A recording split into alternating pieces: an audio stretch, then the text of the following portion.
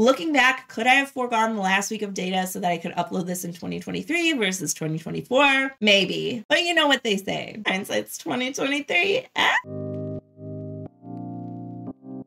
Welcome and welcome back, everybody. Tabletop Tokki here, and in today's video, I'm going to share with you the best games from 2023. Now, this list is based on cold, hard facts, so there is absolutely no disputing it whatsoever. Anybody who tells you differently is wrong. but really, though, in 2023, I played 703 unique games, 159 of which were new to me. So, how can you really say what the best games are. For this list today, I broke it down into four different categories, which are the number of people I played the game with, number of different locations, number of plays, and number of hours spent playing. I figured that this would be the best way to cover a wide variety of games that shine for many different reasons. So without further ado, we're going to get started with our first category here, which is number of different people played with. I first had the pleasure of playing our honorable mention on this list up at Würfel in Hamburg, Germany, and since then have been able to play it with a total of 19 different people last year. And that is Mada from Designer Sophia Wagner. This is a push your luck game where you are placing out cacti that have different amounts of fruit on them that your lemur is collecting. The more fruit you have, the better chance you'll have at scoring more points. However, if you ever get to a high enough card that you cannot play a same value or higher card, you bust and lose all of your points. This is a really fun push your luck game. I love the theme and the art. It's very accessible, hence having played it with 19 different people last year. So this one was technically in the fourth place on this list, but we'll see why here in a little bit. Number two on the list is a game that was brand new to me later in the year, and I have had the pleasure of introducing it to 22 different people since then, and that is Call of the Wild. This is a real time bluffing game where you are going to be yelling animal noises at each other, trying to find animals to match up with and mate with, or are you being tricky and making the call of the animal smaller than you so that you can eat it? It is fast, it is chaotic, it is crazy, but there is a surprising amount of strategy once you get the hang of it. Even though this game might not be everybody's cup of tea, it absolutely leaves an impression. So it is one that I'm more than happy to bring along with me and share with anybody who's down to give it a try. So that is in the number two slot with 22 different people played with Call of the Wild. And coming in at number one is a game that is a classic. You've probably heard of it. I certainly had, but I had honestly written it off because I thought it was going to be a nonsensical game. Coming in at number one for number of people played with 24 different people shared with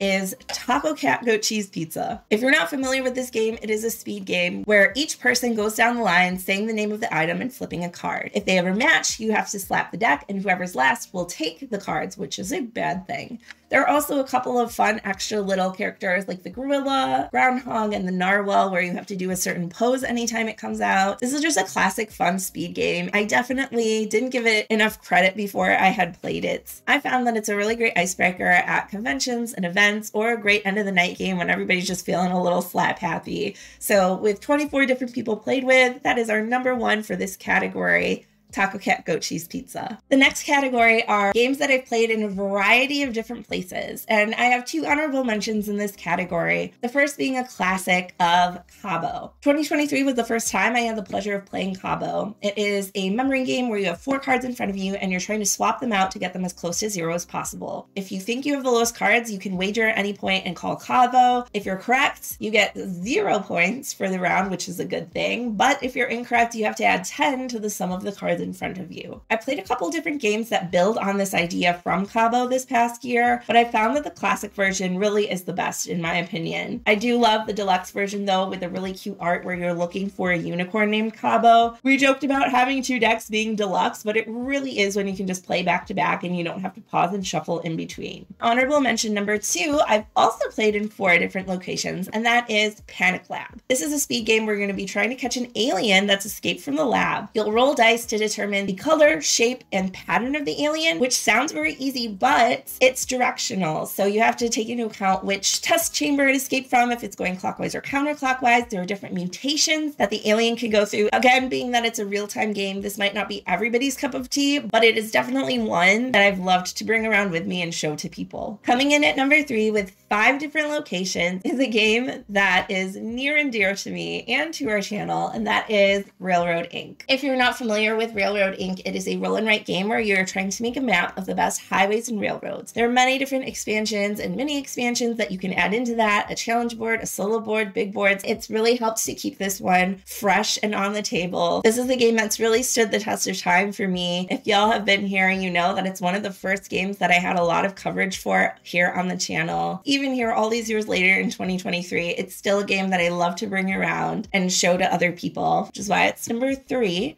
with five different locations played. Coming in at number two with five locations played as well is Wind the Film, also known as Photograph from Saashi and Saashi. This game takes classic elements of drafting and set collection, but packages them in an ingenious and beautiful way. Unlike with a lot of other games in Photograph, you are not able to change the order of the cards in your hand freely. So you have to be very careful about which cards you pick up in which order because they will then more than likely be played in a similar fashion. This is a portable game that I love bringing places, especially to conventions and board game events, because it really plays on some of those classic elements of board games like drafting and set collection, which are present in a lot of entry level games that got people into the hobby. So it's one that I found that a lot of people have really enjoyed getting to experience. And again, very portable. So I've been able to bring it to five different locations this past year and share it. And speaking of portable, with six different locations, number one on this list is Smoke and Mirrors from Button Shy Games. This is a bluffing and deduction game where you are going to be playing cards that represent magic tricks, trying to one up the person that went before you. So you'll have a series of different cards and you'll select up to three of them and play them face down. The first person's cards have to equal one, then two, three, four, etc. Now that may seem very random, but each of the different types of cards has a different back on it. For example, all of the green cards are value one, except there's one special card, which is the mirror, which can copy one or two cards that you play it with. All the different cards have different denominations, such as that. So there's a little bit of math and deduction you have to do there. This is a very compact game. Again, it takes bluffing and deduction and condenses them down in a very clever way based on the size of it and the amount of enjoyability. It's no wonder that I've been able to play this at six different locations. It's always in my bag, even if I'm not going to a board game specific location location. That is smoke and mirrors. Our next category are based on the number of times the game has been played. In the number three slot with 10 plays, we have Rosetta the Lost Language. This is a cooperative game where one person will be acting as the author and the rest of the players will be experts. So the author's job is to take a symbol card and based on the art on the inspiration card, come up with a meaning for that symbol in this made up language. As the game progresses, the experts will guess different words that they think the symbol could mean, and the author will be tasked with drawing symbols based on again that card and that initial iconography that represent those words. So it's really a language building game. It's very unique. It's got elements of deduction that do really make you feel like you're an archaeologist because you're looking at all the different symbols and trying to figure out who were these people what was their way of life what's important to them what would they have written about how would they have represented it. It's been a really unique experience getting to play this one and at 10 plays it's definitely one that I've played multiple times throughout the year. Number two on this list is an abstract game for two players called Boop. I first played Boop in 2023 after some hesitation because I thought, wow, that sounds so simple. You just have to get three cats in a row and you win. But the trick is they all start as kittens and they have to be upgraded to cats. Not only that, when you place a piece, you don't just boop and move your opponent's pieces, but your own as well. So you really have to be strategic about how you set up your kittens and cats on the board. And being that kittens are small, they can't boop cats. Only cats can boop cats but they can also boop kittens. So it's a really cute theme. It's a very streamlined abstract game, super easy to teach, very easy to get to the table, and one that I'm very glad that I got to play 11 times last year. And coming in in the number one slot for plays is a game that I got to play 26 times. you probably won't be surprised once you see what it is. It has been an absolute blast playing this one. This was also the technical number three spot on the number of people played with, as I've played it with 20 different people this past year, and that is Similo from Horrible Guild. Similo is another deduction game where you have one person as the clue giver. There will be a grid of cards, let's say, for example, fables laid out with particular characters, and the clue giver will be giving clues using a different deck, like animals. If they put a card standing upright, it means that it has something similar to the target card that players are trying to select. And if they put it tilted to the side, it means that it's different from the target card. It's just a super quick, easy one to learn. There's a lot of variety with all the different packs that you can get, and it plays relatively quickly, so you can get a lot of plays in. This is again one of my favorites to bring to conventions and board game events. It's a great way to break the ice, to have some conversations, to get to know people. So Similo definitely deserves the number one spot with 26 plays in 2023. The last category on this list is number of hours played. I had a lot of games that were way up there with over four hours of play.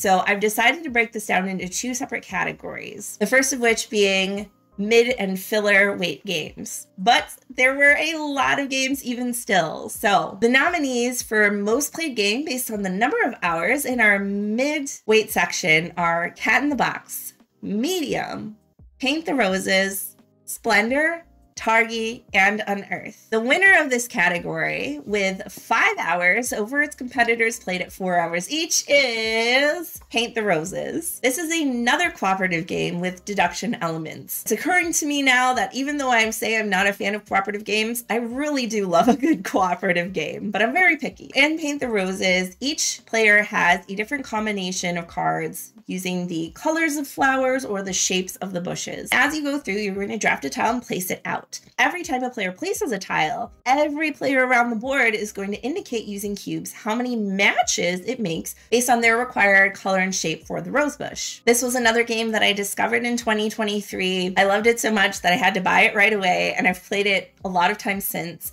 It's one of the few games that I have purchased over the years that I like to play back to back. Normally, I have one play and then I'm done. But with this one, I always feel like, man, we could have done a little bit better. Or I come up with new strategies. Having played it for five hours over the past year has been really fun. And I'm super looking forward to trying all of the modules that come in the expansion this coming year as well. So that is our winner of the midweek category for number of hours played Paint the Roses. And for our chunky boys in the number of hours played category, we have nominees with four hours each of Black Angel, Carnegie, Great Western Trail, The Hunger, Praga Caput Regni, Res Arcana, Rococo Deluxe, and Wayfarers of the South Tigris. With a whopping six hours of play, my number one played game based on number of hours in 2023 is Res Arcana. Res Arcana is an amazingly tight engine building game. You're going to be collecting different artifacts, monuments, and places of power to build your engine, collecting the most resources, which will get you components that are worth certain numbers of points. It's a quick race to see who can get 10 points first. One of the reasons why I love this game so much is unlike other engine builders that often feel very bloated with 50, 60, hundreds of cards that you have to sort through.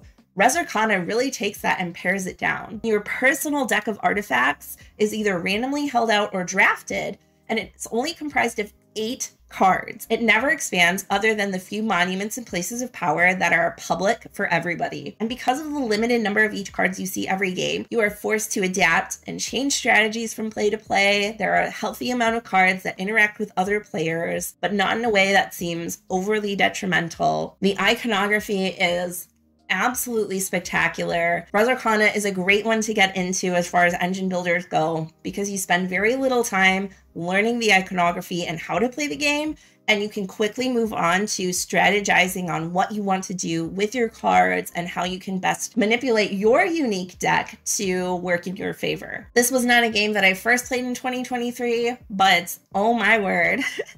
Has it been a pleasure to continue playing it? There are currently two expansions out with a third on the way for even more content, and it's been great still having this one in my collection to play and share with others throughout the year. So, based on hours played, Res Arcana is my number one game from 2023. So, there you have it. Those are my top games from 2023. Let me know in the comments down below what some of your favorite games and gaming memories were from the year, and if there are any other games you think I should check out for 2024. A quick thank you to our sponsor, Noble Knight Games. If you're interested in trying out any of these games or many more, you can click on the link down in the description. Thank you as always for being here, and I'll see you next time. Bye.